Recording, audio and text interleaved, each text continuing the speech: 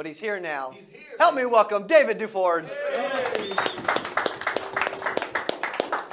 Thank you, Cody. Arturo, thank you very much. So there's two different ways we can go through today. So as, to- as far as topics go, I'm, I'm an open book. That's kind of what I came up here. It's what I told Arturo. I am here to show you everything behind the scenes, under the hood. So this is number one, how my YouTube channel works. So if you're looking to create content, you're wondering where to start, you're wondering about equipment, strategies, even though what my predominant focus is is on recruiting agents, a lot of the fundamentals and principles apply to no matter what you're doing content wise. So wherever you guys want to go, I'm completely an open book. I'll show you what videos work well, how the strategy goes, kind of the, the formula behind the videos, uh, the story behind why I got started. Anywhere you want to go is fine with me. So that's number one. Number two, um, I had a big epiphany last about a year and a half ago. I realized that there was a problem with my business, and it was me. I was the face of the business but I realized that I couldn't do everything in my business. So I made a conscious decision. I think I told Cody, like, you know, I always wanted to make a half million a year and not have any employees, right? That was my goal. Then I realized there's some problems with that. Like, you have to do everything because you don't have employees. So I began to, to put in employees, not, not agents, 1099 agents, different story, but I'm talking about staff, people to help you run the business. And um, totally recreated, reimagined the business. And just to give you some stats, and, and the reason I'm sharing this with you is from an operational standpoint, running your agency, from sales training, from picking the right candidates, um, to anything running a business when it comes to the agency. I'm happy to be open minded and share with you all of that. So, like for some examples, last year, March of uh, 2023, we did 808,000 in approved business, business, and this is mostly final expense. This year, we did 1.9 million. So 235% increase year over year. All right. Uh, for example, we had 185 writers, so people writing business last year in March 2023. This year we had 199. But check this out. We had nine people in 2023 who wrote 20,000 or more. This year we had 30 people write 20,000 or more in coverage. Need to guys get through? Okay. Watch out for the cork, yeah. You'll have to. Look at AJ. No, just more. Yeah. Very good. So we've done we've done a, uh, my team. Excuse me. This isn't me. This is my team. Right. We know how important our team is. Right, Cody? Uh, has done an incredible job, really taking what we had and taking it to the next level. So when it comes to what we've done to recruit talented agents, finding talented people on your team, how we've motivated, uh, uh, gotten these agents to get out there and crush it I'm happy to go in any direction with that as well. And as far, it, it, like I said, this is an open. The last thing here is this is an open mic Q and A. Um, I don't have a prepared speech. I'm here to answer your questions. Take it in any direction you want to, uh, and I think that's probably the best way to serve you guys. So I'm going to open this up for questions. Guy in the back, what's your name? Rob. Rob. Hey, Rob. How you doing? So I'm, I'm probably the worst guy in social media here. Yeah. So if some, if you're going to give a blueprint for somebody to start, okay, we all know now, how should that somebody start? Yeah, okay. So, um, I mean, the first step is I've got a guy right now that I met at Cody's event like, about two years ago, um, Ryan, Ryan Valet, I don't know if you remember him. He joined my agency, but he came to that because he wanted to do YouTube videos. He's a very talented telesales agent. And the first problem with him, after we've worked together for a year and a half, guess what he hasn't done? Filmed his first freaking video. Okay? So the first thing is, it's like, just take action. And I know that's not necessarily your, your question, I'm going to get to it, but the biggest problem people have is being afraid of looking at the camera. Like, oh my God, the camera's staring back at what am going to do? It's just a camera. Just do it. It's going to be cringe the first video you do. Just accept that fact, right? But the thing is, as you do more and more of it, just like as you guys sold insurance, you get better and better and better. You start seeing the mistakes you make, you start getting better. It's the same process here doing videos. So um, don't get too hung up on it. Just get started. Now, as, as far as a grand strategy for YouTube, the, what, what sits as the foundation of being successful on YouTube or any social media is giving away world class, helpful information that could also be entertaining, right? I have a penchant of being informative. I'm not the Mr. Beast of insurance, right? So my entertainment value is probably there marginally, But where I think I make the most impact, and I would likewise share with all of you, is help, educate, give people value that they never have heard or seen anywhere else. If that's your mindset, if that's your underlying um, motivation, that is that just is the foundation of everything. Okay. Now taking it a little bit more tactively, tactfully, in tactics, tactics. Um, you have to hit into trends. Okay, that's what I would say. Now I'm going to give you a couple of things that have worked well for me that I intentionally do in order to garner views and, in, and to hit a cross current of maybe other people who are in our space but haven't been exposed to our content. Again, I'm going to talk a lot about recruiting agents, but think how can I apply this if you're trying to generate leads for insurance sales? It's the same concept. So if I go here to my content, so this is the back office of YouTube, this is where we see everything. I'm going to point out, actually, I'm going to make this even better. We're going to analytics, we're going to go to um, the top 10 videos here. Actually, let me do this. I'll do a little better. We'll go back about, let's go back to last year. Because now we're looking over a year. What has been performing the best over the past year? This is going to tell you some, I think, again, fundamental trends here. So, what do you notice about the first six here?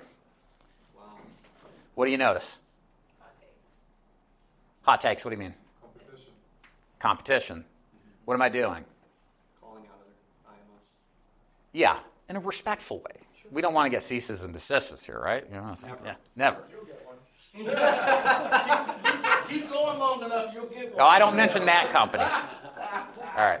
So, what I do here is I talk about other companies. Okay, now this, I talk about a lot of other stuff, but this is what I would consider top of the funnel content. Okay? So I figured this out, I don't know how, a couple years ago. But people don't get into the insurance business to research life insurance. They do it to research, well, is PHP legit? Is Symmetry Financial Group a scam? And so on and so forth. So I'm tapping into this large pool of people who may be selling insurance or possibly thinking about it, right? So what I do is essentially hack their funnel because they don't know about me from anybody else until they come across these videos. And then the hope is, I hope, they're like, well, this dude's not so bad. And then YouTube will start showing my other content to them, and then they'll be exposed to Final Expense. A lot of people I talked to never knew about Final Expense until they saw my content. So that tells me they're not starting with the idea of, let me research Final Expense. They don't even know what that is, right? They just kind of stumble across it. So, how, how can we translate this to you? Hot takes, like you said. Who, who are some financial people you could take hot takes of? Come on, please tell me. Dave Ramsey. Thank you. Dave Ramsey. Dave Ramsey. Who else? There's probably YouTubers. Suze Orman, right? There, there's probably YouTubers you could take hot takes of and rea- a reaction style video, right? Where their, their idea is so out of whack, you have to like straighten it out and tell the truth, right? Because people want controversy. They want to be entertained or they want to have to watch something shocking right? So that's kind of a strategic piece of advice that has worked really well for me. And part of what I position myself as is I'm I try to take the middle of the road. I'm never like super biased uh, in one way or the other. I let people decide what they're going to uh, choose. If I'm not saying PHP is a scam. I'm like, you got to consider this, this, and this. You make your mind up. And the people who work with me appreciate that because I'm not, because they look at me as a salesperson and I'm taking a much more neutral, nothing's perfect, but a much more neutral road. Does that answer your question? Sort of, kind of? Good. Yeah, Yeah. go ahead. Okay. Okay. Jeez. Who else has questions? Two of those are recent too. This Why year. did you decide to go with Yeah. YouTube and, or, or are you on other platforms like Instagram? Y- Yeah, I, I suck at everything but YouTube. I, because I don't consume it. I don't like TikTok. I don't like Instagram. I sure as hell don't like Facebook. I love YouTube. YouTube's where I've been for my entire uh, 20s and 30s. So I understand the. Pl- I think I think that's an intuitive understanding because I consume it. I, I mentioned it earlier. The platform you should do isn't necessarily YouTube. It's the one that you know, consume, and therefore understand the best. Okay. And the thing is, is there's opportunity like this all over the place. You just don't even know it because nobody, because everybody's like, well, I don't want to look like an idiot, you know, or well, I don't know. You know, people laugh at me or haters. Ugh. You know, we all get them, but who cares, right? You got you know, fortune favors the bold, as they say. So pick your platform, and I would say pick one. Don't do this spread it across and diversification. That's bullshit. Okay? Pick the one that you like, the one that resonates to you, and go all in, just like your given insurance niche, just same conceptually. Okay? Uh, Arturo in the back. So, uh, a lot of the stuff comes around mindset, about how you show up on camera and being your authentic self and worrying about what people are gonna think, how you look, your hair, this. You never, you, it's always to something, right? You, you, you know, you don't have enough of this or it needs to look like this. So how did you overcome? Have you seen some of these weirdos on YouTube? I mean, these freaks? But I mean, for us, like, people like, oh, I don't do this, I'm not a YouTuber. Well, that's my point. I, I'm saying that tongue in cheek, guys. All right. I'm just saying, like, there, have you seen people on YouTube? I mean, there's some people out there who are just like, how do they have the confidence to show up looking like that? Okay. And that should, if you're like in some weird way, like, well, I'm not that bad looking. So maybe that's a good boost to you, right? So I'm trying to figure out a way to motivate you to get over this hang up, which is all up in your head, that, oh, I don't have the perfect tone or the experience or whatever, right? I failed out of final expense. I failed out of final expense, y'all, and I'm up here on YouTube lecturing people about it. It's crazy. But there's value in that too, right? But the point is, even though I failed, I still had value to deliver, right? So, you know, that's the thing. Most, most of the biggest thing is just getting started somewhere, right? I can wax poetic about the stuff and I can give you strategies, I can do all this stuff, and it's useful. But if you don't just get over the fact of picking up the camera and filming yourself, nothing's going to happen. And the best part is you own that you failed and you're actually honest and vulnerable. Yeah, and people want that. People want that. Totally want that. Yeah, and, and, and look, that's not the only strategy. You may have the stud who writes a million a year, and he's going to have an audience, right? And that's the thing. There's a ton of people to talk to. You just got to find your group of people. The guy in the back. So how do you have your staff help you build your social media presence? What, what stuff they do in the back end? help Yeah. So, good question. Um, a lot of the strategy is just me. I'll talk to people sometimes, but I look at a lot of the competitions videos. I look at people outside of the insurance business for ideas and inspiration. Maybe they're in the biz op space, right? Not necessarily insurance, maybe they're in solar sales, right? So I look at other niches and kind of get ideas to extract and steal from them and to kind of make my own angle.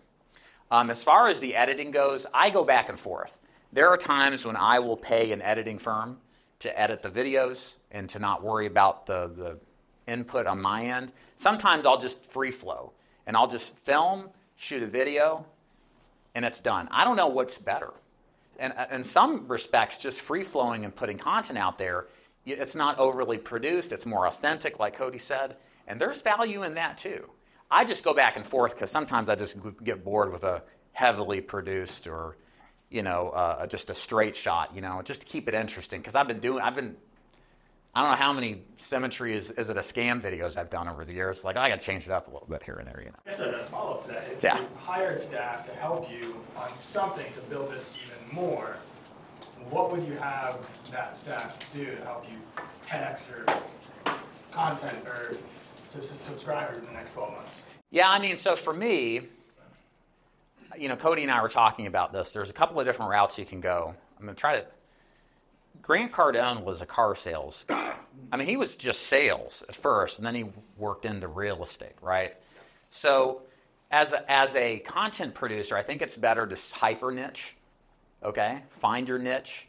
Um, don't worry about sub counts or even view counts, but create really world class content for that hyper niche. The veterans benefits uh, niche, like you guys are talking about, is a perfect example of that, right? Um, find your niche, own it, and then over time, what you may find is that you bounce out of that niche or start to expand outside of it. I'm trying to think of some others. I mean, even Mr. Beast did that. He was a video gamer Yeah. before he became an entertainer. Yeah, well, a lot of them start with, as pranks and all this other stuff. Yeah. Also, Dan really focused on like the retirement financial products too, which I think is a huge opportunity. Yeah, and, and there's and yeah, so there's you know, so it's it's all comes down to what do you want to be like. Where I want to be right now is right here. I don't care about being the uh, Grant Cardone uh, copy, carbon, whatever. Like I'm fine owning the final expense slash life insurance space because that's where my business is. This this is not my business. This is my platform to get people to join my agency, right? That's my business. So that's what I want this to accomplish. Uh, let's do this guy. How you doing? Good man. Um, what is your production strategy? Like, you shoot everything uh, over four hours for the whole month? Are you planning it throughout the week? How does that look? And then, uh, what is your volume output? Are you putting out one video a week? Yeah. Putting out one every other day? Yeah, I so I I will batch videos. So I'll sit down. Um, I will write down, and everybody's different here. I'll write down the bullet points of the topic that I want to talk about. I've done thousands of these, so I can just free flow. You probably are the same way. That's what you get to, but you may have to script it out, right? And you script out the video, what you want to say. You're looking at it as you're looking in the camera, you know, something like that. So I'll batch them out like that. Sometimes, like I said, strategically, I'll change the live streams because I think there's a lot more, there's a little bit more exposure with live streams, but also I think it connects with your audience a little bit more. And then that's just me talking on camera for whatever topic we're discussing, right? Uh, content wise, this is interesting. I, I, watched a Hormozi video, and he was doing a business um, audit, and it was of an influencer, and they realized that, I guess, to get to their business goals, they could cut back on the content production, which took a lot of man hours and attention, and, and their views would still be there because most of their views came off of stuff that was in the past. So the point was, for me, I only do two, maybe two long videos a week now, maybe a couple of shorts, give or take. But I used to do, I used to do daily content for years. Now, and I don't regret that because I get you get better at something you do over and over and over again. I think there's absolute value in that. But you don't necessarily need to do a daily piece of content. It could be one really. I'd rather you do one really good piece of content a week or every other week than a half-ass one every other day. Good question. I mean, just in reflection, right now, you've got, of course, millions of views, but if you were to talk to yourself with the knowledge you have now, that you say, okay, hey, if I'm starting today from scratch, like, what are some of those, like, foundational, like, or, what I'm, trying to say is, any specific numbers, like you said, hey, I'm gonna do one daily. Yeah. Uh, You know, what are some, some real concrete, like, standards or things that you would establish to help you start Sure. Baby steps. Uh, number one would be figure out what niche you're in. Right. So I was originally my name, my company name was Final Expense Agent Mentor. Then over the years, I got into Medicare, I got into ACA, and I got my focus was disseminated. Right. And so um, that's bad because I got away from the thing that makes us the most money, which is final expense. And so I refocused back in. Right. So you got to know your niche and you got to know who you're speaking to. It's really important that you understand that. Okay. Um, number two, know what kind of videos instill interest.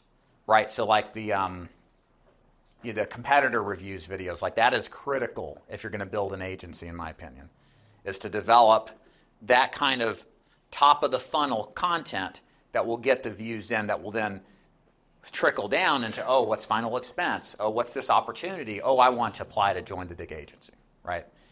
And then three, man, put out as much as you can. I really do believe, as much as I say, and it's just demonstrating a point, I want you to put world class content out there, guys, but look, it's going to take some time to get world class. you know, and part of this is just putting the time under tension, right? Rome wasn't built in a day. And don't be judgmental of yourself as much as possible about your content. It's just accept that it's going to be bad. You're going to cringe. Your spouse is going to cringe, but do it anyway. You'll get better. You will. You will. You'll just get better. You'll get more intuitive about it, and it's certainly how it was with me. I don't know about Cody. Amazing from day one. I wish. Alex. Have you used AI videos at all? Have you experimented with that yet? No, I'm not bec- for any negative reason. I'm just, I don't know. I I like talking to people, and I like a relationship with them, right? You know, so. Uh, I mean, I don't know much about it, so.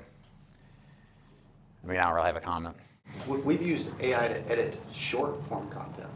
But not anything. Not in the video. Okay. No, okay. but not in the video. Yeah. Because you can record your face and you can record you talking. And then you just tell it what to, you're like, here's what to say. And it'll like make a David You know, you know, for me, I mean, this this maybe I'm old fashioned. I am almost forty.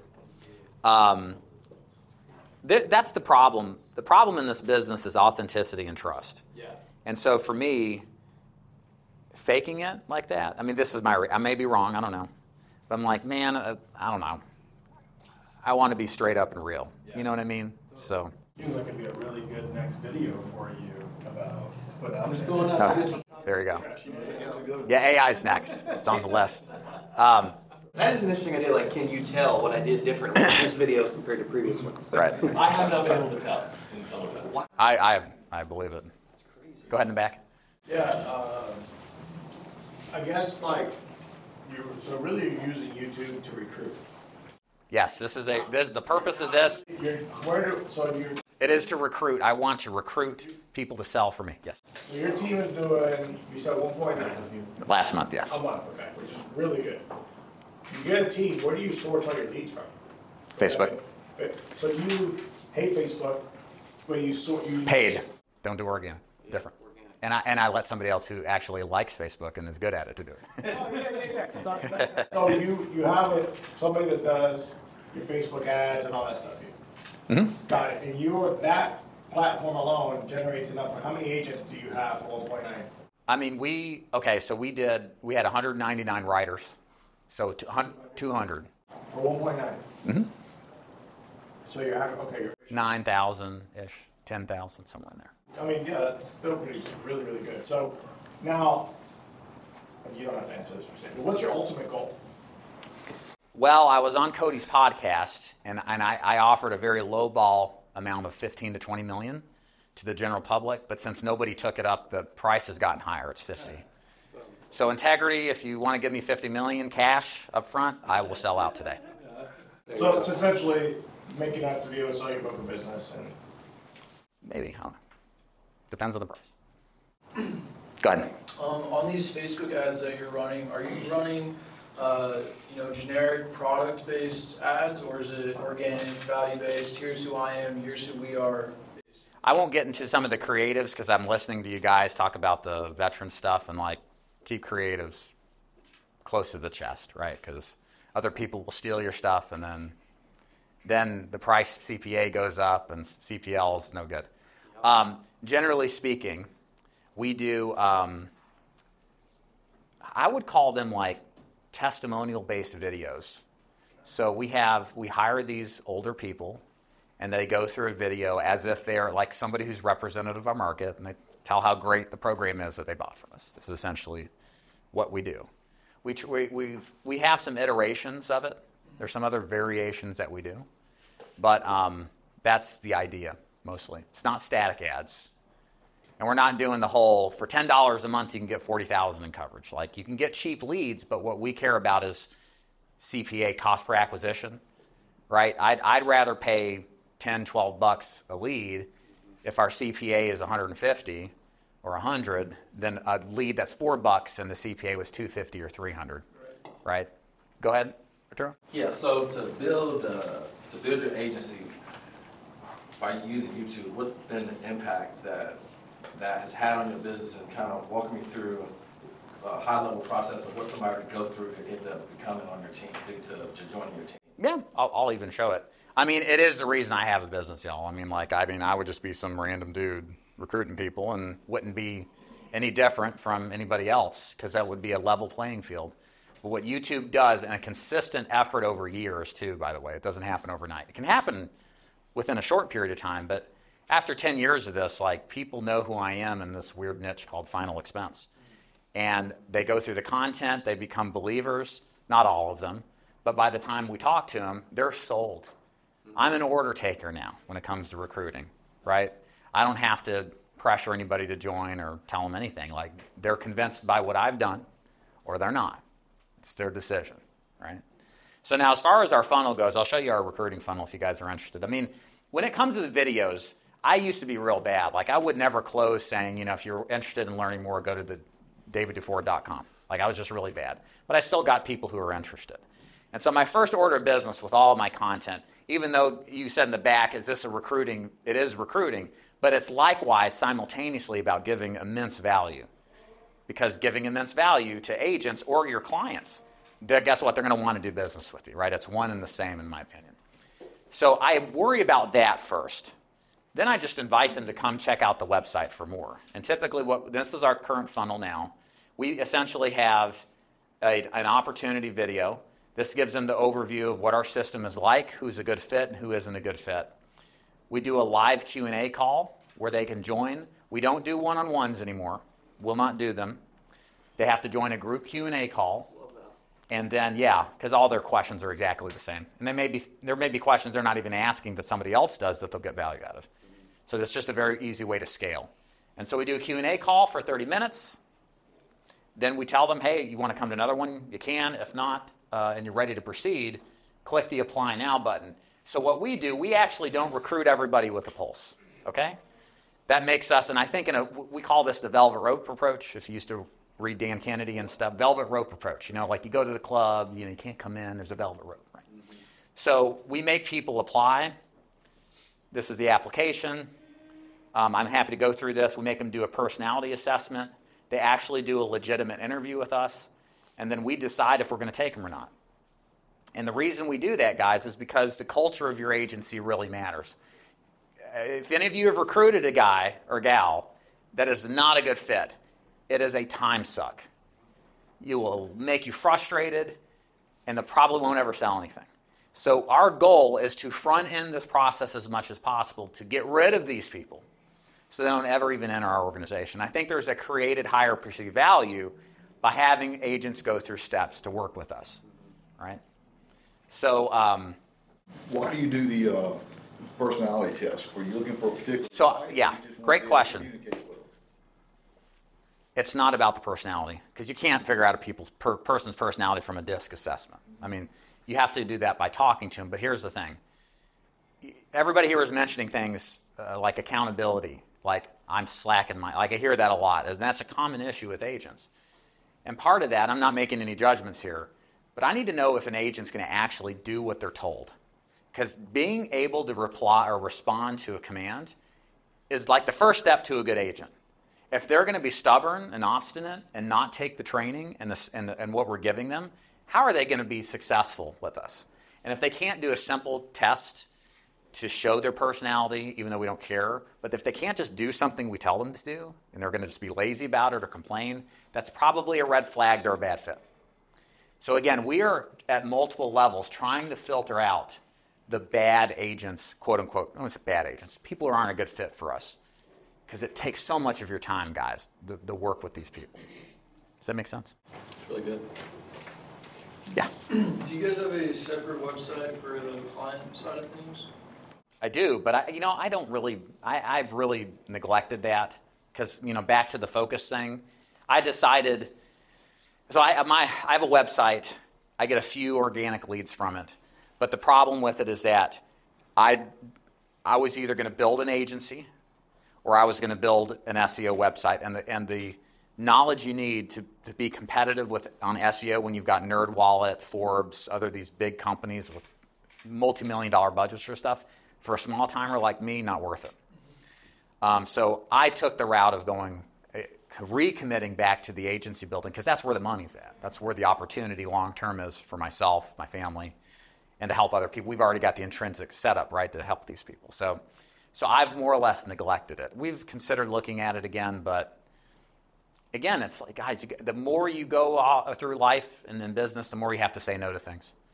You know, and I there was a period in my time where I said yes to this, and then it distracted me, and I didn't. I kind of you know plateaued for a while. So I'm like blinders on. This is what we're doing, and that's it.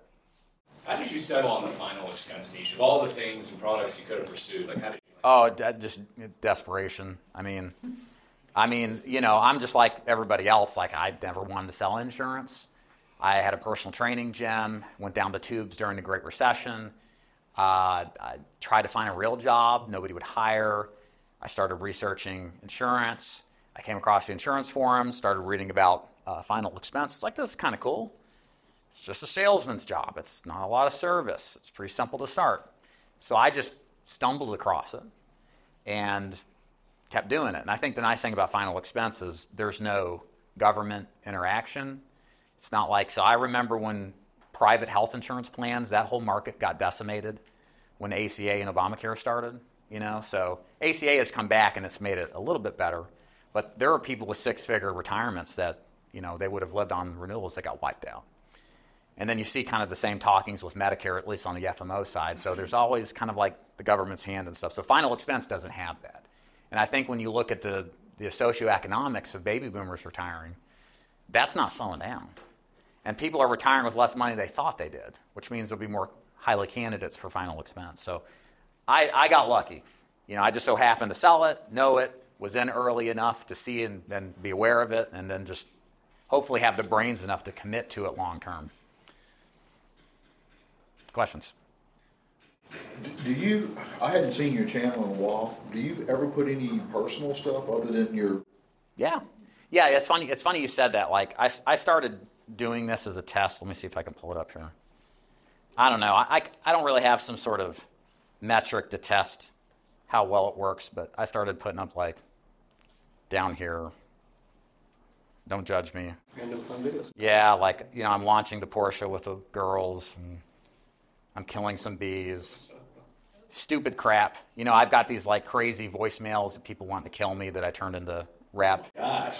It's pretty funny. So you know, I tried. You do want to put some personal. I, you don't want to be too like stoic and impersonal. I, tr- I try to put up some stuff that's funny. I don't know if it is or not. It might be completely cringe, but So it humanizes you. that's the idea. Yeah. People, you know, watch some things online, they make up their own preconceived notions. Yeah. Like, what we went through this like eighteen months, is like, seeming to be too perfect to get it all together, and all you're doing is pontificating about like, all your success and how you can help people.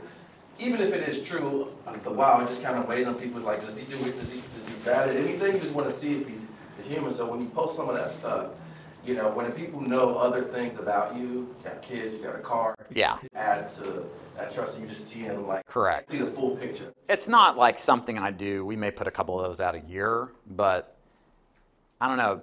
People still do business with people they like. It's li- not just trust. It's like, and I and I know that might have shifted, but you know, you're more always going to be more favorable to do business with somebody who's likable. Now, hopefully, that I try to be. Okay, watch a launch What's video. your, uh, What'd you say? You want to watch it? We want to watch the launch? Yeah, two and a half seconds. There we go. In sixty. se- oh, yes. onboarding process for, for new agents, Yeah. the free lead program, um, Yeah. Okay. So so um, the launch, the launch, onboarding. I'm thinking about the car. Okay. Onboarding. Two weeks. Um, they come in. They get contracted. They have to buy ten states to start with. We require that from them because we need to have them some skin in the game. And plus, when you're marketing on Facebook, you can't just do one state and have an affordable cost per lead. So that shows us somebody's serious. And then from there, they're going to rehearse the script. They're going to watch objection rebuttal training videos, attend live training calls, and basically just reinforce the training. And we want them on the phone in the next, within two weeks of starting onboarding, because it takes about that long anyway for carriers to get appointed. What, we, what you don't want to do, guys, if you're recruiting, is have somebody sit around for four or six weeks patiently waiting. They're going to lose momentum. They're going to be attracted by another shiny object, and then they're not going to be all in like they should be. what kind of carriers do you guys contract right with? Give them like three or four? five? Yeah, we do, we do we do the non-MLM ones, so like SBLI, Trinity Family Benefit, um, CICA, but they're not contracting right now. AIG, um, you can get two writing numbers with them.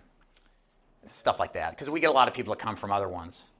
And they're like, oh yeah, this this sounds cool. So this carrier lineup is good because most of our agents are telesales now, and um, uh, most of them don't have these already, so it's easier to transition. back to that ad you said you were doing for your agents on Facebook. Mm-hmm. Do you have to put on there, this is a paid, paid person or anything? or- I don't know what they do. I'm sure. I hope. I don't know. I was just curious. It's a paid actor. It's not real. Can you talk about like you, you, you created once, but what it does over time, how it, how the momentum and it compounds, like all the assets that you have, that your, your YouTube as a whole, how it contributes to recruiting. I mean, it is. It's. uh, And how do you mean? Could you clarify? It's compounding, like the, like from all the content that you put in over the years, a video that you probably forgot about that you don't even remember what you said and it can still land you a recruit. I always work. I mean, so part of this was, and this is why I did daily content early on. I was like, man, like every video is bait. I'm putting out bait to catch me some agents, right? But if I put out seven instead of two a week, inside of 50 weeks, 52 weeks, I'll have 365 pieces of bait out. If I do that for three or four years, next to the guy is doing two, in a way, I'm going to be way ahead of them possibly, right? So I think a cumulative long, and that's why this game is a long-term one, because it takes time to get good. Most people aren't going to put the time in. And second of all, it's cumulative. And the outcome of that is, who knows? I mean, there's tons of videos that I've forgotten about that are hooking agents and getting them into my, my funnel. So I know that that's quite the answer you wanted, but something like that, yeah. Yeah. Beck? Um, I'm, I'm intrigued about your free lead program. So, Sure. um, you, you have to give me exact numbers, but obviously you have comp levels. What does your free agent lead program comp usually start at? 50. Okay. And do you have those people still take a nine-month advance? Is there, have you ever considered like lowering that, that, maybe raising it up a little bit, but taking the back end away so you don't expose yourself to any of that debt? I mean, uh, we ha- our, our agents are not on LOA. They're not a line of authority. So they're vested. So they're on the hook anyway. But if they don't pay, it rolls to you, right? Correct. Yeah. I mean, it would anyway if they're LOA because I'm the one getting the chargeback. I'm just, I'm, that's, that's something about the life insurance industry that's always been so interesting as I talk to more and more people. You know, we keep these advances, which is just like, um, a lot of folks come in, they sell really well for about the two and now they're rich, right? And in reality, Yeah. it's just borrowed money. Um, so the quicker you can help people understand that they don't need to be on a nine-month advance, maybe they can live off of six or three or You know, I, I agree with that, but I've never actually seen it done in some sort of constructive, scaled way. Most people stay on in advance. I mean, I've never seen anybody dial. I'm sure there's a few out there, but over the years of talking to agents, I don't know anybody who's like, I'm. I've been doing the final expense for five years, and I'm as earned. Like, I know it's a smart idea. It's risk mitigation. Smart for the upline because you got to co-sign the debt, right? But it's it just doesn't happen. I just I've never seen it happen. What do you film with? Something like this. Um, this is a Sony. Uh, ours is a Sony A6400. It's about a thousand bucks. Um, Mike, this thing right here is what I have. It's a Rode Wireless Go 2. Um, that's it. I don't wanna start off with a thousand dollar camera, just phone. You could do you could do your iPhone. Yeah, that's fine. I do a lot of, yeah, either way. Yeah. It's about a thousand dollar camera. Yeah. Yeah, wait a minute. Yeah, new one is, yeah. Fifteen dollars. So how would you set up the YouTube channel if you wanted to focus on generating organic leads in the niche? I'll show you my other one. How about that? Are you in Skool now? Yeah, you want to- I'll show you my Skool site. I was going to talk about that. What is it called? Fixed income help. use money for Hormozi. Yeah, for real. Were you on it? I was on it before he was. Yeah. I had heard about it before. I'm a first adopter. Okay, so th- this is the site, I, or this is the page I have like more or less neglected. What do we see here that was the same as last time? Competitors. Who am I talking about? Pin, Colonial, Globe, popular name. Look how many views those got. I mean, that's pretty good for that. Yeah, that's really good for that. So, so, and then there were some attempts like reaction to Judge Judy. Now, I didn't do really good on the thumbnails, admittedly. You know, I could probably work on that. But principally, we're seeing the same thing here, like reactions. And we, again, we get some leads here, and they're pretty good. They're not a lot of them. And for me, in the YouTube space, what I have found is for final expense, I, I, there's not an active, I don't believe there is an active group of people that are searching for final expense. But Lord knows when you put in here uh, Plan F Medicare, good Lord, here it comes. You know, like tons of people are looking for Medicare. So there's some niches I just think perform better than others. You know, like Christopher Westfall was one of the first adopters of YouTube, and he sold out for eight figures recently. So it's so part of it's just dependent. So you might ha- you might find like I've often thought this with final expense. You may have to go a niche or, or a level above. Like maybe you're talking about senior finances, but then you got to speak really broadly, but then funnel them into final expense. It's, it's almost the same. It's talking about, hey, this is about insurance sales, but then now we're funneling them into final expense.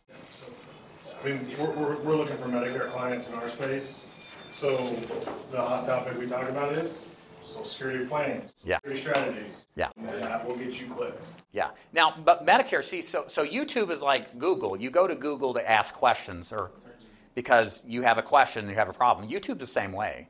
So there's plenty of space for Medicare. You just, again, with Medicare being more competitive, as you saw there, you have to have a niche even within Medicare. There's just so many eligibles though, to just. Yeah. Can I ask you a question? Sure. About, so, and Cody did this at the last mastermind that I attended, and I, and I, cause he's like, just, just mimic what somebody does or. Correct. Whatever.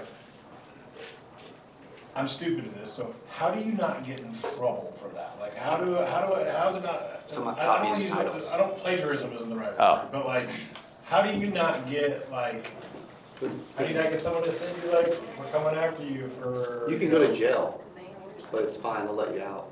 I mean, after how long? It's just jail. Jeez. What's wrong with you? Aren't you serious about your business? How do you not, how do they not come after you? Well, I mean, I don't think there's any intellectual copyrights to ideas like like a concept. Plus, you iterate it in your own way. I mean, He's not doing defamation stuff against them, he's just giving facts. or is that what? You're, yeah. Are uh, Well, no, no, like. are you talking about like the I'm the assuming criticisms? I'm assuming that maybe you're having a conversation with an agent that's coming from an IMO or wherever, and then you use some of that information in the video that you're talking about, and you're not directly saying that, you know, from a, this is what's. Are you talking about the review videos? Maybe, Yeah, I mean, like with those, I don't, I don't say XYZ company is a scam and their owner is a, a, is a nutcase psycho. He he could be. He could be, because then I would get a cease and desist. But in this case, I keep it level. I, I, it, I think the way I do it, number one, it's, I tell them very generic stuff like read your contract, talk to a couple of agents before you join. I mean, this stuff is good information to someone who has no clue. Everybody here is like, that, no, everybody does this. Yeah, we're all agents. But to the new guy, they're like, man, I never thought about talking to a couple of agents that, oh, this guy's a salesperson that runs this MLM. Man, it's an MLM? So, so we got to remember your audience. The audience is different. So when I'm critiquing these videos, you can watch them. They all sound very similar. It's like David didn't say anything like that's going to get him in jail or or a defamation lawsuit. Now there are some companies that practice lawfare that I won't mention, that I won't review, and uh, even if you do mention them and it's totally above board, they'll cease and desist you. But I'll let you guys fill in the gaps. We know through that. One of them called me about you one time too. I think I told you that. Yeah. Oh yeah, when was that? Yeah. It was a. It was like used like a hashtag or something. They're like, I'm suing. That's I'm like, that's what he that's what he sued before. Yeah. Or a hashtag, a hashtag and a LinkedIn post. they called me. I'm like, dude, Dave's he's pretty chill.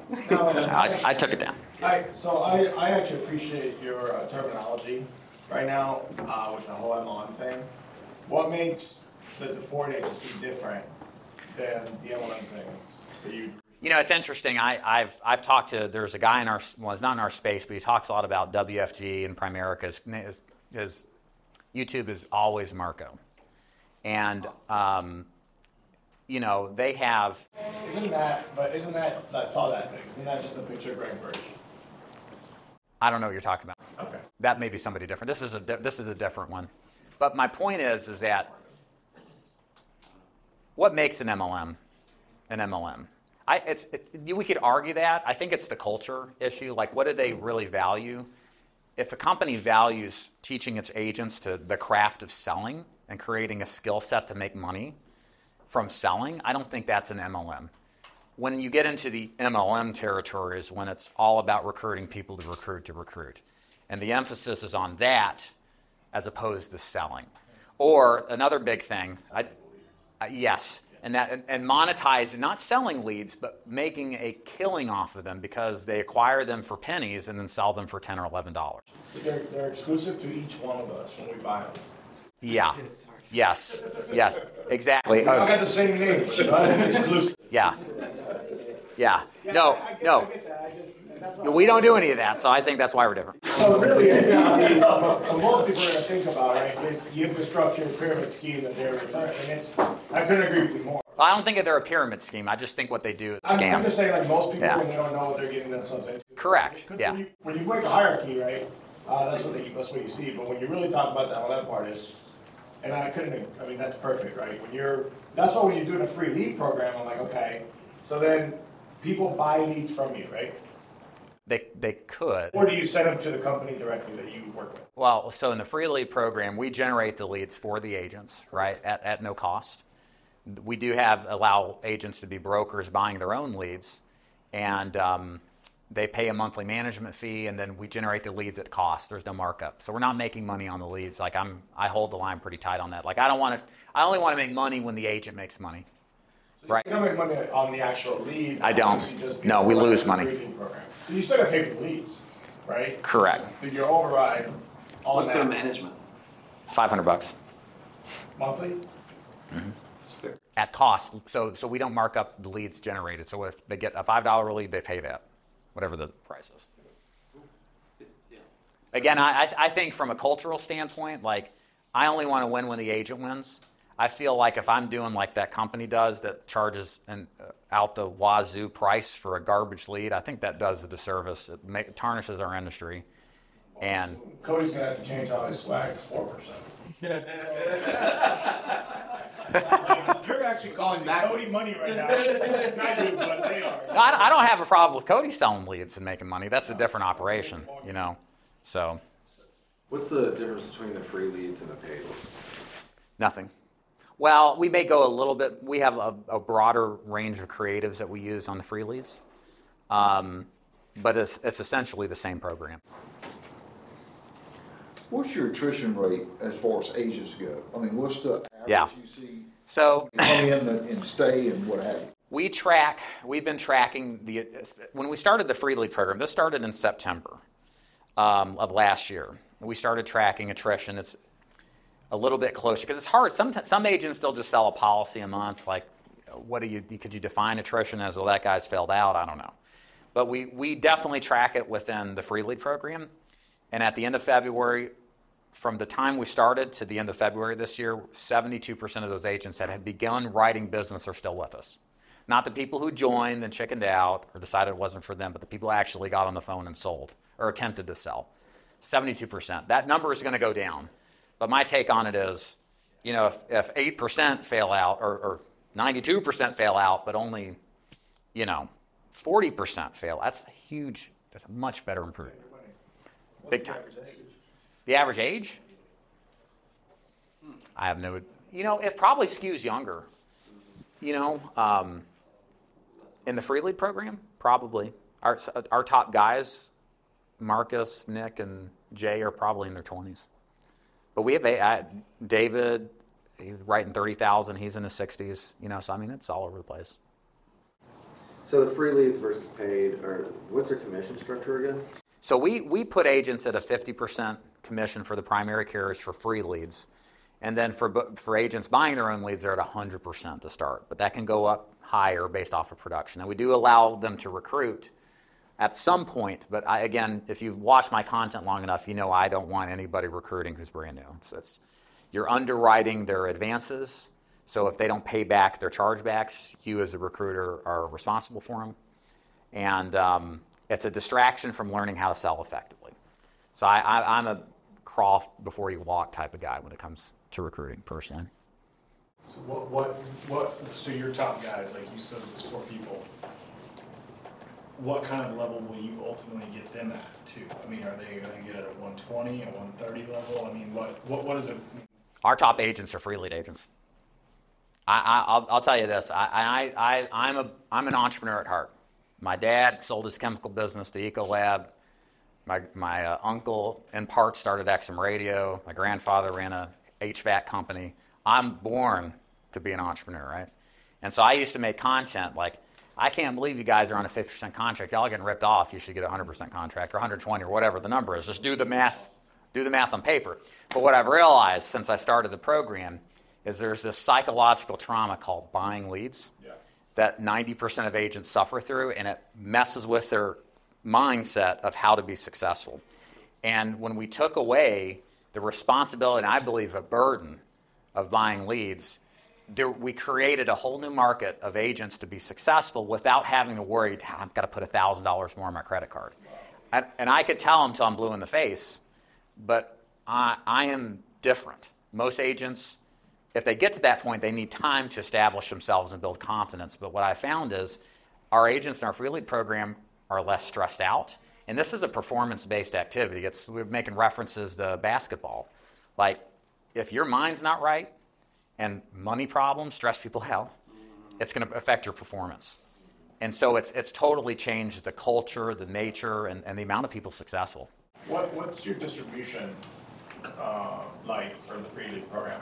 Come in, what do you get a day, a week, a month? Distribution?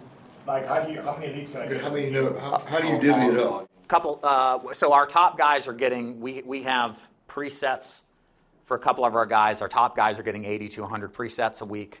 Um, that's how we reward with merit. We play favorites guys like Presets? preset appointments yeah 80 to 100 a week. We reward the guys who crush it and we want to keep them around and we give them special privileges like preset appointments. And all they do is show up and sell. Now they'll make some outbound calls. Um, but yeah our top guys are getting up to 200 leads a week some people they get they get to like 100 or 150 and they stop producing like it's too much.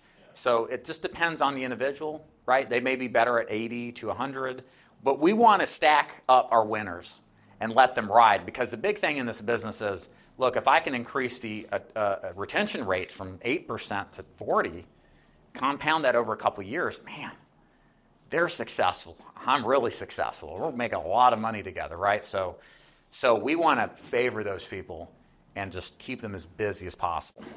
When do you, when do you cut someone off of free leads? When they don't, So- oh, good, good. Yeah, I mean, So there's a couple of stages. Number one, we bring them on. They have to make a sale in their first week. We give them fresh leads and age leads. You should be making sales in final expense. It's not that complicated, right? And if you actually studied the find the, those first two weeks in the onboarding process, you should be making sales. If you don't, we're probably just going to cut you. The second stage is what, what if you have somebody who's productive, but their CPA is high? So we may have somebody who's writing good volume for them, but for the business, it doesn't cash flow enough for us, right? So we need more out mileage out of them with the amount of leads that we get. So we work with them on improving their skill sets, and um, sometimes we let the middle of the road guys go. But the goal is to build up a guy from 10, 20,000 a month to 40 to 50,000, right? And then there's a lot of our top guys that started at 10, 25, 30, 50 and have scaled up as their skill sets have developed. And they're in your free lead program, doing forty to fifty K. Dude, yeah, I'm telling you, man, it's yeah. And they're They're happy. level, They're happy. And you're loving life. Yes, yes, yes. It's yeah. I, I never imagined the free lead program would ever, I would ever like it because I, I would talk crap about it for years. But Joining fee or a monthly fee or anything else? No. I just, and, and, and No. that model won't be affected with, with the whole July stuff, like, you're, you're, be- you're still able to distribute those leads to your downlines and them reaching out. oh, the FCC thing. Yeah. Yeah, we talked to uh, an expensive lawyer for an hour yesterday, and they don't really know. They're like, "Well, this is what we think is going to happen," and but it's not. It's too early. It is too early. There's still some rulings coming out, so I we're kind of gearing up for it. I think it will be fine because our strategy is in the ad itself. It's going to say the dig agency, and then when the agent's on the phone on the script, they're going to say the dig agency. That's That's it. That's exactly that. Yeah. That's how you stay compliant. That's just my time. Yeah, so, so that's, I, I think despite them being 1099s, that's the way that we're going to be safe. Okay. Thank you. Yeah, yeah. yeah. What, um, for the free, free um, what kind of software do you guys have?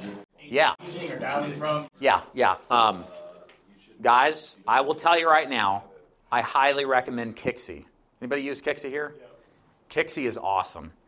The reason I like it, now I've heard some complaints from it, but the reason we, and it's not perfect, but Kixie is great because The biggest problem in this business is not the no's, it's the maybes. It's people and pick up the phone. All right? And so what Kixie does is it shows a local number to the client you're calling. It's, and it's not spoofed, so it's not illegal. It's legal. They own the number, Kixie does. So that helps encourage pickups because it's a local number. And then the other thing that Kixie does actively is it scrubs the numbers against the spam likely and telemarketer likely filters. That's what's killing us, okay? And so we got like a 200 to 300% increase in pickups just by using Kixie. Guys, that's money, all right? That's huge. Yeah, I, And- I used them and nobody else had ever told me about them.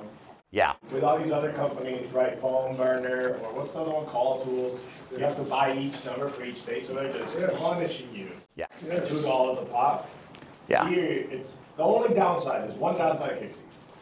You cannot pay monthly, you pay quarterly, and if you cancel one month in, thank you for your donation. So you Yep. cannot commit to three months. That, that is, I was looking for the biggest downfall, and I was like, where is it? Oh, and the other one, and maybe I can talk to Alex, is the integration component. They do integrate to HighLevel, and they do communicate, but it doesn't, well, It's not perfect. It's Yeah, not perfect. yeah. so. It's worth fooling with because it's that good. They're just looking, they're literally just have an open API key, so they're moving it over, right? But it's Yeah. not- It's, it tells me the notes, it tells me enough, but it, I'm glad you brought Kixie, because nobody talks about them as much, and I think they're actually great. Yeah, The- it's, it is a must-have. Every single one of our free lead agents gets it for free. We pay the You bill. pay for that. I pay for it because it makes me money. It's expensive. And um, our brokers can get it. It's just 150 bucks. and That's not that bad. It's hundred fifty bucks a month. It's worth every penny. You should get it if you're buying your own leads for free. So Yeah. Hey, I, yeah, it, it's really, it's good. It's just their integration with GHL. it's much to be desired. Yeah. Yeah. Because you have to still load the leads up every month. Yeah. What about the self-booked appointments? The what? now? Self-booked for the agent Oh. doing well, like, how does that fun win? I mean, we on I I have to talk to Tim, but I believe it happens at the time of like probably like most of you guys do. You get it at the time of the lead acquisition, and then there's an option to schedule an appointment.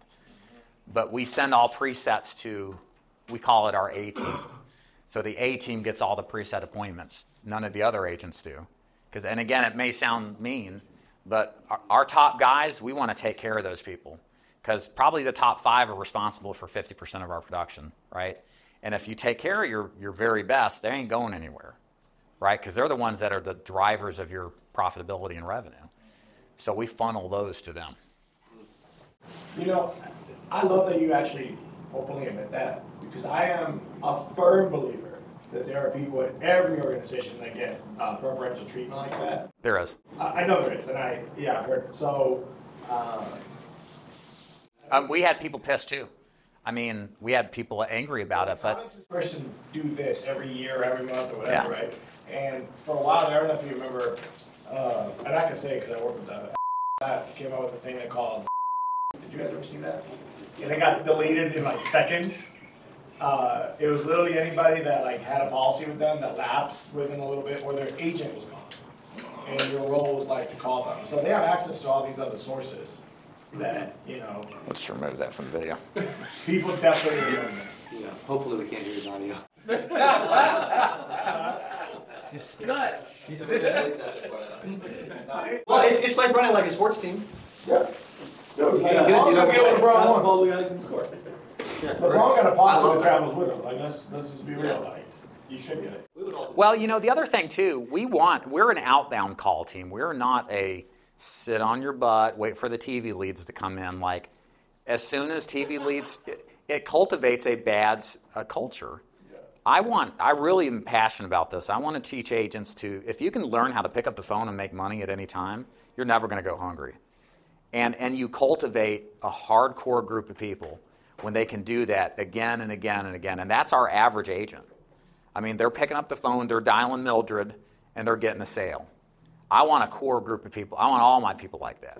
I don't want them entitled to a, an inbound and then mad when they don't get enough, you know, and there's a lot of problems with that. Go ahead. So you're calling Mildred on the phone, and are you closing her right then, or are you setting up another appointment? Closer.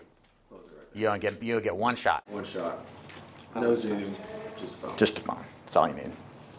And that pre, those preset appointments, is that generated from your higher level flows or do you? Yes. or Solely, or do you have a staff person sometimes taking a lead and coming in, whatever? Is, is anybody on your team? No, it's pretty much it's it's automation to some extent, and it's also at the time of the acquisition of the lead on the. Fa- I think the Facebook form there's an offer to set a Calendly appointment. Appointment setters are pretty much archaic and they're, they're going. Yeah, not not in telesales. They don't exist. Correct. Yeah, How many people are on your A team? three. So hundred and ninety-six of his people, right? No, no, no. Free lead, free lead, the free lead division has about right now 30 to 30 to 40 people selling. Hmm. So 10 percent. So, okay, so, Yeah. but so those thirty to forty people, Ten percent of those are on your A team. Yeah. Roughly. well, but you gotta think he also has, because they're some of his most profitable people, right? No, oh, it's Right. Well, they're the biggest sellers. You have to kind of look at it, right, because they. 50. They may be your biggest IP sellers, but are they actually your most, like, making the most, you know what I'm saying? I- If I'm making hundred percent on one sale, you see what I'm saying? Like, I may only write thirty, and you. Their close rates are north of 10 percent of the leads distributed to them. But, but it doesn't matter, because people are happy, because the ones that are doing more volume are made with less energy lead, lead generation on their own self, are making almost as much money as the people that are getting a higher margin, but having generated their own leads. So this whole culture is happy, Yeah, and, and, and about that, most agents it's personalities. most agents really shouldn't be generating their own leads. Maybe about 10 percent. You guys might be the 10 percent, but my, I have found most agents can't get past. Um, they can't. Dan Kennedy used to say this. Most of the courses and stuff, you, you got to be okay with this as as a person selling anything. You got to be okay with most of your people not even taking the Saran wrap off the course. That's not your fault. That's their fault, right? And and it's just. God bless you people who sell courses to train agents how to do Facebook marketing. It's no thank you. Just buy them. Go back to you made a We're for free. that the appointment setter is, is on the way out. If you're if you're doing face to face, it's completely valid. But for the phone, why would you appointment set when they call? Just close them. The only option for a pre a preset appointment at the time of the lead generated on Facebook would be valid. Are all these people remote? All of them. No call center. Are they, is there a virtual Zoom environment or no? We do everything on site. You know, I, I've been a little antsy about Zoom. I've always thought it was a HIPAA issue. I don't mean with clients, I mean with each other. Yeah, in-house, like. Yeah, I hear what you're saying. McDonald's or something. We, yeah, so we do some, we call them virtual ride-alongs. So our, our top producers will share their desktops on Zoom, and they'll let the agents observe. They won't talk to the agent because he's out there cr- closing and crushing it. We're not getting in his way, but they can watch, they can see. So we've recorded some trainings like that, which is absolutely incredibly valuable. But I was going to comment, there are some agencies that do Zoom calls, but then they share the client information. Like I, I'm at a point in my life where I have something to lose, and for me, it's like, what if somebody's on there recording that, and I don't know about it, and they're they're taking social security numbers, they're taking personal information, bank accounts. I've been defrauded by agents in this business, so I know everything's possible, and um, you know, you just can't. So we we don't do Zoom calls at all where it's like a live dial session, listen to me close, that kind of thing. It's just too risky. There's a lot of that too. Yeah, there's a ton of that, and I don't know. I don't understand how these carriers aren't coming out and aren't. I guess nobody has sued them yet because that's how the TCPA stuff happened with the telemarketed leads. I think these carriers had to get sued for whatever before they started saying no more telemarketed leads. So you have all these remote people dialing, but you have a core office with staff. My spare bedroom in the house. Yeah, I, I, no, I mean we're all remote. So uh, my my guy in Indiana, he's my Tim Hildebrand's my telesales trainer. He's in his spare bedroom. You know, I'm in mine. He's in his. No, we don't have an office. Never have. But you do have very nice bookcases. Thank you. Yes. Yes. Yes. That came with the home. I didn't put that in there. I'm too cheap for that. I was blessed to have that. So perfect. I thought you were teaching us uh, YouTube, David. You gave us a whole new business model. I did. Oh yeah, yeah. No, I'm teaching that too. I'll, I'll, I'll talk about anything. I was curious. I noticed your YouTube channel is the name of your business. Do you think it's better to have your YouTube channel as your business name or your personal name? Yeah. So um, That's a great question. I mean, I've, I've gone back and forth on that, but the re, my YouTube facilitates my real business, which is this, the DIG Agency. So for me, I want my YouTube channel to reflect that. And the other part of it is if I get to the point of selling one day, the YouTube part is incredibly valuable because it is, it is a unique asset that very few others have. And I want the brand to be associated with the business, not me personally, as much as possible. So for me, I agree. I think it's better in some cases to have your name on it. But where I'm going, You're aiming to sell. at some point possibly, and so I want to make sure that the channel reflects the brand of the company. Yeah.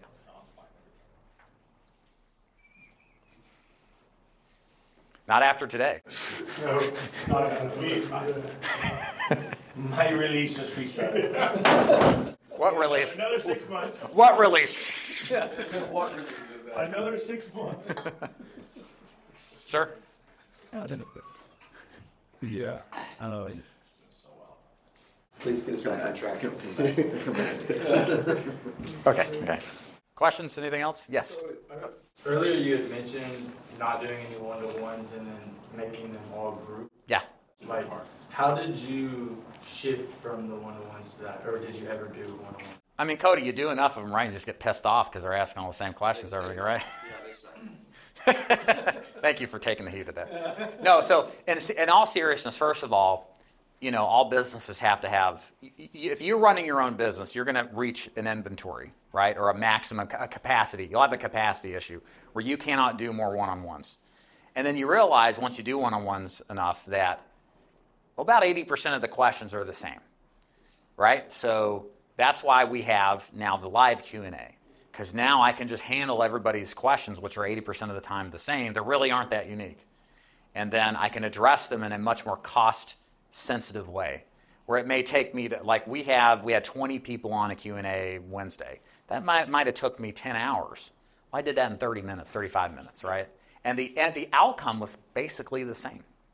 And again, my assets, the YouTube, the, the, the branding, people who come into that already know what's going on. So for me, that's why we do it. And I just, there's very rarely a reason to, no, I won't say I'll, I'll never won't do a one on one, but 99% of the time it's unnecessary.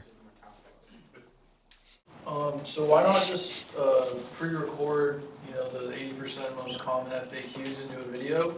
Um, and have that up on the part of the onboarding funnel instead of actually doing it? I'm glad you asked. But make sure it's AI. So, so this video right here, this is that, this is that, and then guess what we got below here? Even more FAQ videos. Like these are the common questions that I. People could have that Oh. in front of them and they told you they watched it, and then when they go to a live one, they're gonna ask you the exact same question. They won't watch it. They don't watch it. It's going back up. People want answers. It'll come up. So if you, if you, and eventually, hopefully, we'll show here. But um, on my website, there's a main opportunity overview video. There it is. And then below that, these are like sub FAQ. Like these are like more specific questions, like uh, what the licensing requirements are, why everybody, most everybody should be on a free lead program. These are the questions that would come up time to time, and I just, you know, put it in video format so we can just not answer these questions again and again.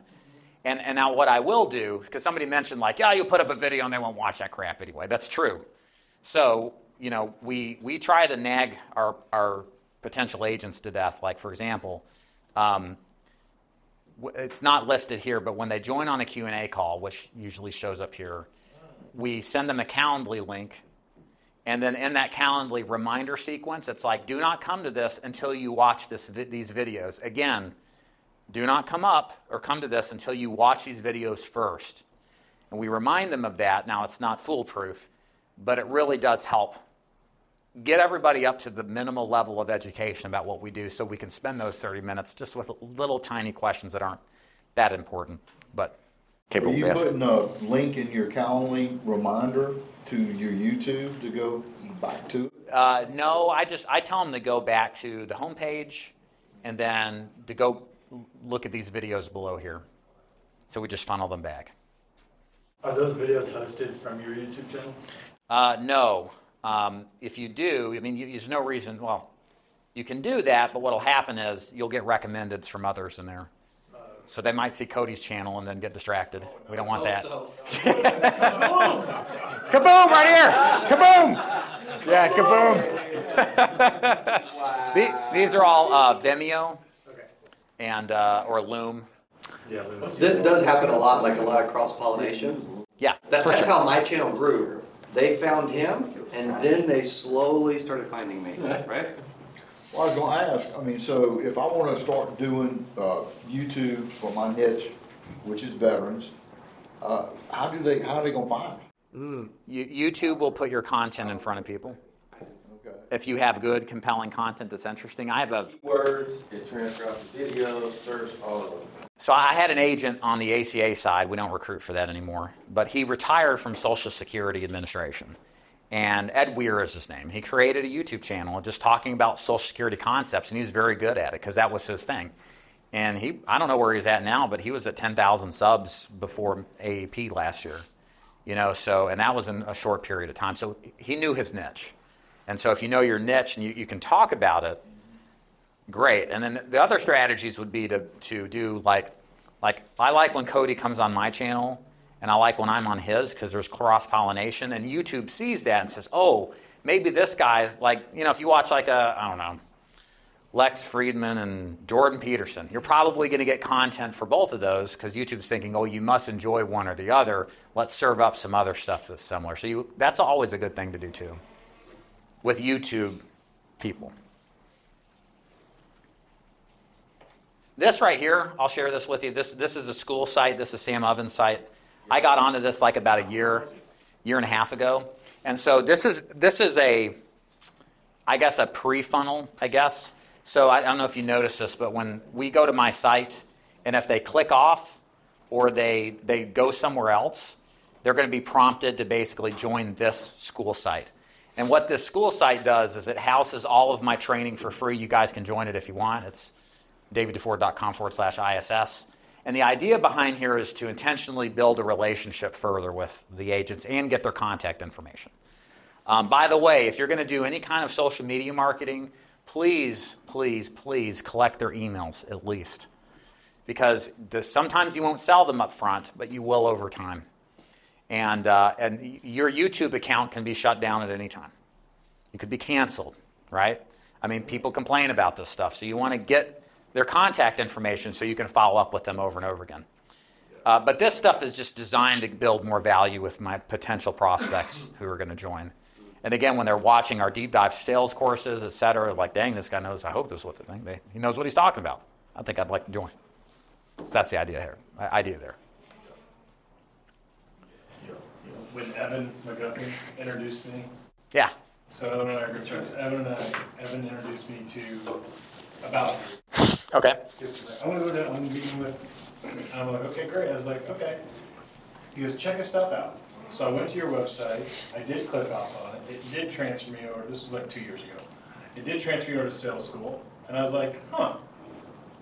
I'm not subscribing to anything here. I don't do anything here. I'm just going to play with this. Why not? I'm going to check out what those videos are. I'm Yeah, going to check out your yeah, content. yeah. Your content's fantastic. Thank you.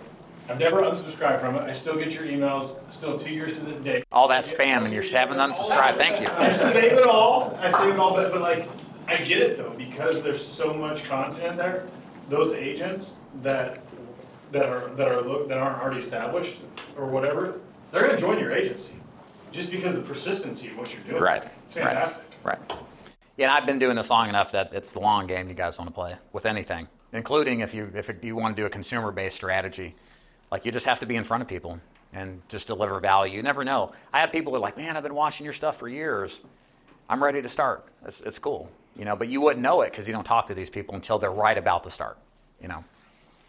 A c- couple other things I'll share with you. Um, just kind uh, Loom. Y'all use Loom? Yeah. Highly recommend you use Loom. Uh, it's uh, I do it for all my emails now instead of typing it out. I send videos. I think it's the equivalent of the handwritten letter. Like when you get a personal video from somebody, they, it feels way more impactful and special to them. That's my, that's what I do. I always. It's my jam, man. That's right. Everybody sending you a text, they might post something on social media, they might like something. Yeah. When you get a video picture from somebody, it's just different, right? Okay, so was William, short. pretty sure I sent one to to Cody back yeah. in the day. I think I sent one to do for it too. Yep, I think so. Yeah. Questions? Very good. That it? Yeah. I can keep going. All right. Thank you.